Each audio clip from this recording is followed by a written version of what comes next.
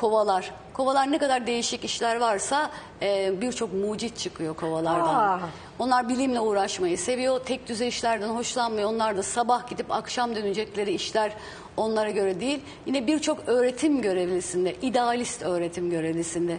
Çünkü onlar öğrettikleri şeyi de renkli olarak anlatmaya bay- hmm. bayılıyorlar. Hayal dünyaları çok geniş.